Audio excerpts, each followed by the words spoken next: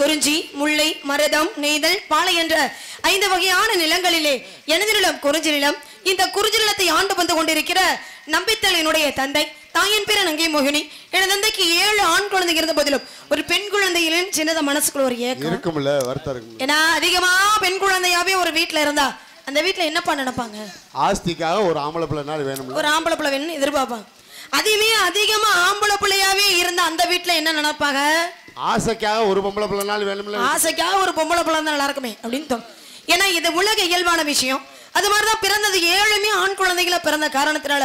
ஒரு பெண் குழந்தைகளையும் ஏக்கப்பட்ட எங்க அப்பா முருகப்பெருமானை வணங்க முருகப்பெருமானுடைய அருளால வள்ளிக்கொடிகளுக்கு இடையில் கடந்து எடுத்து வளர்த்து இது நாள் வரைக்கும் எந்த குறையும் இல்லாம எங்க அப்பா என்னை வளர்த்துக்கிட்டு வர்றாரு. பார்க்கையிலே தெரியுதுமா எந்த பார்த்தா பிள்ளைகளும் எப்படிப்பா தெரியும்? ஆமா இந்த தங்கம் வைரம் வைடூரியம் பல நகையை போட்டு விட்டுருக்காரு அப்பா. எது இதெல்லாம் சொல்றீங்களா நீங்க? இதெல்லாம் பார்த்தா உங்களுக்கு தங்கம் வயிறம் வயிடூரிய மாதிரி தெரியுது. ஏமா இந்த கொரோனா காலத்துல கஷ்டப்பட்டிருக்க மாட்டீங்களே? ஏப்பா எல்லாரும் கஷ்டப்படப்ப நான் மட்டும் நான் சந்தோஷமா வாழ்ந்திருப்பேன்? ஏன் இந்த நகையெல்லாம் கொண்டு போய் வச்சுட்டு சாப்பிடலாம்ல? அப்புறம் திருப்பி தருவோம் இது இதெல்லாம் சொல்றீங்களா? இதெல்லாம் தங்கம் கிடையாதுப்பா. இது அம்புட்டுமே காயில கொண்டுல போட்டாலும் கூட ஐம்பது ரூபாய்க்கு கூட எடுத்துக்க மாட்டாங்க. சும்மா சொல்லாதீங்க. நீங்க என்னன்னா அது தங்கம் வயிறுன்னு என்னென்னமோ கற்பனை பண்ணிக்கிட்டு பொய் இருக்கீங்க சொல்றியம்மா நீங்க.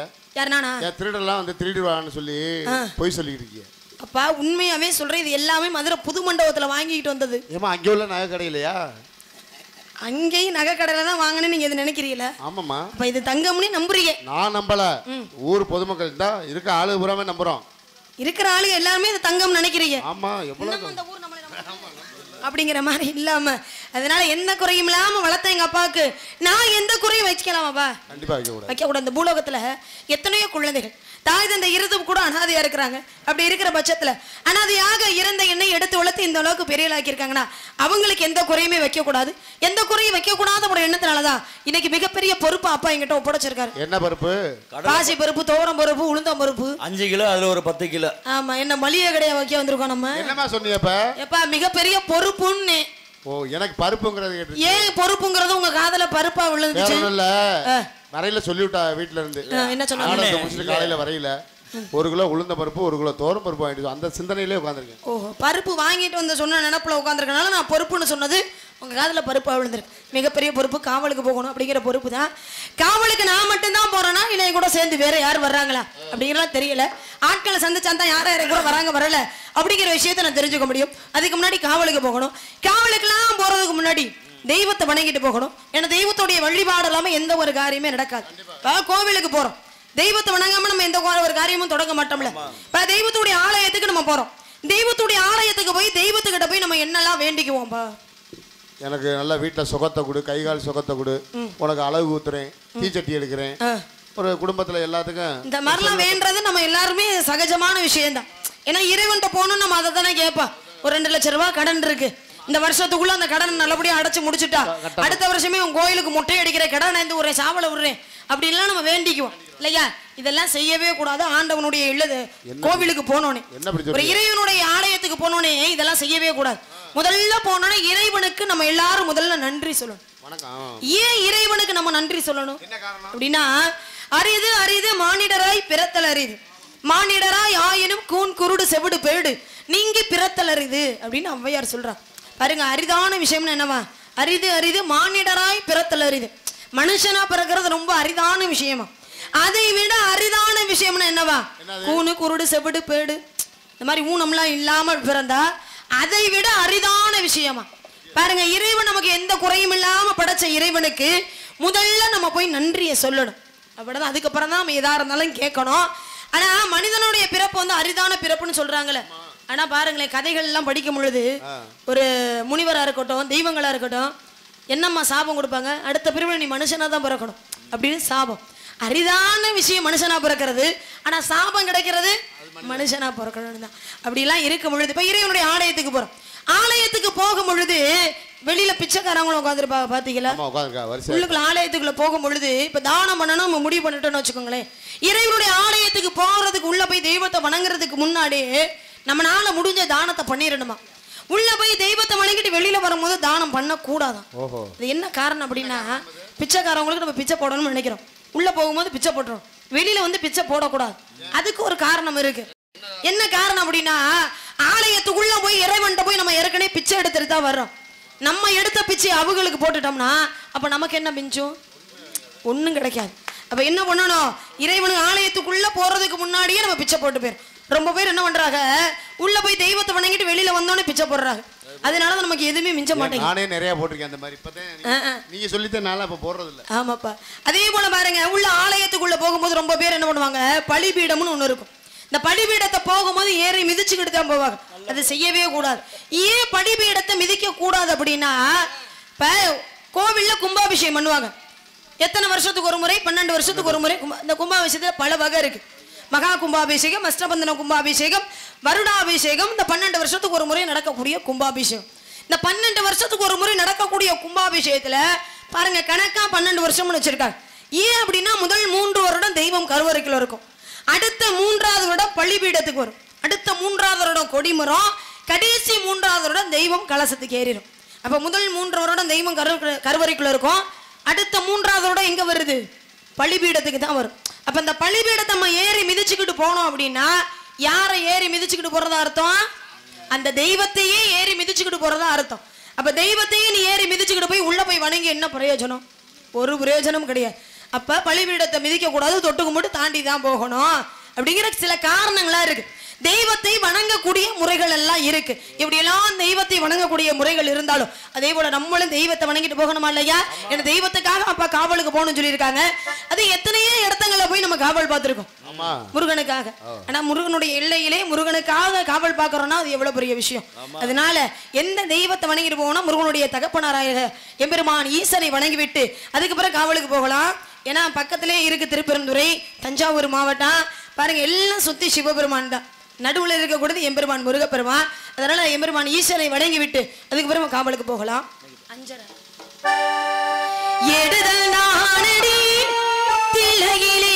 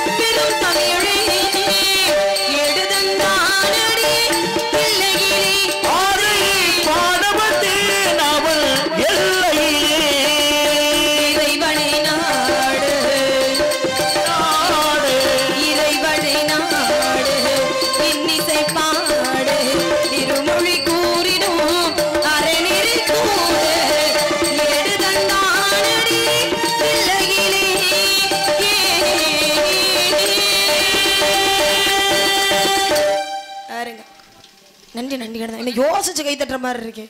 நன்றி நன்றி கடந்த வணக்கம் சும்மா கை எடுத்து கூசாம தட்டுங்க. ஆமா. பாருங்க எந்த தெய்வத்துக்கும் இல்லாத ஒரு சிறப்பு. ஆதியும் அந்தமும் இல்லாத நாயகன். நம சிவாய். நம சிவாய். பாருங்க நம சிவாய நம சிவாயன்னு சொல்லிக்கிட்டே இருந்தோம்னா அனுதினமும் சொல்லிக்கிட்டே இருந்தோம்னா உங்களுக்கு பலன் வந்து சேருமா. சிவனை வணங்கக்கூடியவங்களை நாயன்மார்கள்னு சொல்லுவோம். இப்ப சிவ சின்னம் அப்படின்னு நம்ம என்னென்ன சொல்லுவோம்? மொத்த சிவ சின்னம் மூன்று இருக்கு. ஒன்று நெற்றியில அறியக்கூடிய திருநீரு இன்னொன்று ருத்ராஜம் மூன்றாவது நமசிவாய அப்படிங்கிற மந்திரம். இது மூணு அனுதினமும் சொல்லிக்கிட்டே இருந்தோம்னா மூணு இருந்தா தான் அவங்க வந்து சிவனுடைய பக்தர்கள்னு சொல்லுவாங்க. நெற்றி நிறைய திருநீரை பூசுறோம். ரொம்ப பேர் திருநீரை திருநீரா பூசுறதே கிடையாது. திருநீருக்குன்னு ஒரு வழக்கம் இருக்கு. இந்த திருநீரை எப்படி பூசணும்னு கூட ஒரு சில பேருக்குலாம் தெரியறதே கிடையாது. பாருங்க சின்னதா எடுத்து இந்த விரல்ல எடுத்து சின்னதா தெரியாத மாதிரி பூசிக்கிறது. அது எதுக்கு பூசுறீங்க? அது பூசியும் பிரயோஜனமே கிடையாது. திருநீரை எப்படி பூசணும் அப்படின்னா இந்த மூன்று விரலால தொட்டு இந்த நான்காவது விரலை சேர்த்து நெற்றியில வந்து என்ன பண்ணணும்? இடப்பக்கத்திலிருந்து வலப்பக்கம் எடுக்கணும். இடப்பக்கத்திலிருந்து வலப்பக்கத்துக்கு இழுக்கணும். இந்த திருநீரை அன்னார்ந்து பூசும் பொழுது இந்த திருநீர் கீழே சிந்தக்கூடாதான்? சிவனுடைய ஆலயத்துக்கு போய் சிவனை வணங்கும் பொழுது சிவனுக்கு எதிரில் நின்று திருநீரை பூசக்கூடாது. சிவனை எதிரில் நின்று வணங்கக்கூடாது. வலப்பக்கமோ இடப்பக்கமோ நின்று தான் வணங்கணும். திருநீரை பூசுகின்ற பொழுது ஆலயத்துக்குள்ள நின்று பூசக்கூடாது. ஆலயத்தை விட்டு வெளியில தள்ளி வந்து தான் திருநீரை பூசணும். இந்த திருநீரை பூசும் பொழுது கீழே விழுகக்கூடாது. ஏன் கீழே விழுகக்கூடாது அப்படின்னா திருநீரை பூசும் பொழுது இந்த ரெண்டு புஜத்துல தான் விழுகணுமா? திருநீர். ஏன் இந்த ரெண்டு புஜத்துல விழுகணும் அப்படின்னா சிவனை வணங்கி இந்த திருநீரை பூசக்கூடியவங்க அனுதினமும் பூசிக்கிட்டே இருக்க பார்த்தீங்களா அவங்க கூட யார் இருப்பா அப்படின்னா ஒரு பக்கத்துல வீரபத்திரரும் இன்னொரு பக்கத்துல கால பைரவரும் குடியிருப்பாங்களா இந்த இடத்துல. அப்ப நம்ம திருநீரை பூசும் பொழுது கீழே விழுகாம அவங்க மேல விழுகணும் அந்த திருநீர். அது அவங்க கிடைச்ச வரோம். அப்ப ரெண்டு பேரும் மேல தான் விழுகணும். இந்த திருநீருக்காகவே நான் ஒருத்தரை காதலிக்கிறேன்னு சொன்னேன். தப்பா? ஏப்பா யார் என்ன கேட்டீங்க நீங்க? சரியா காதுல விழுகல. ம். நல்லா இருப்ப அந்த மைக்கு வச்சிருப்பாங்க ஏன்னா அது ஏற்கனவே பேஸ் மைக்கு நீ வார்த்தை பேசினால வெளியில வேற மாதிரி தான் அது கேட்கும். ஒருத்தர்னு சொல்லு. நீ ஒருத்தவருங்கிறது வெளியில வேற மாதிரி கேட்டுச்சுன்னா நல்லா இருக்காது. அதனால அதுல பேசாதீங்க நல்லா இருப்பீங்க வச்சிருங்க. நீங்க சாதாரணமா கூட பேசுங்க. அந்த மாதிரி. யார் அந்த ஒருத்தவர்? ஆமா. பெண்கள் பொதுவாவே பார்த்திருக்கீங்களா? காதல்னு வந்துட்டா யார்கிட்டயுமே சொல்லவே மாட்டாங்க. அது ரொம்ப மறைமுகமா தான் இருக்கும். எங்கள்கிட்ட சொல்லல நீங்க. ரொம்ப மறைமுகமா தான் இருக்கும். இங்க வந்து மைக்கு போட்டு உங்கள்ட்ட சொல்றாரு. ஆமா சீக்கிரம் யாரும் சொல்ல மாட்டாங்கப்பா. ஏன்னா காதல் வந்ததும் கண்ணியின் உள்ளம் காதலை யாருக்கும் சொல்வதில்லை. புத்தகம் மூடிய மயிலிறகாக புத்தியை மறைப்பாய் தெரிவதில்லை. நெஞ்சே என் நெஞ்சே செல்லாயோ அவனோடு. சென்றால் வரமாட்டாய் அதுதானே பெரும்பாடு. தன்னன்னானென தன்னன்னானன. தன்னன்னானன தன்னன்னானன. ஓ இதம்மா அந்த பாட்டு அதுக்கு தான் எழுதுனதோ எங்கே நீ எங்கே?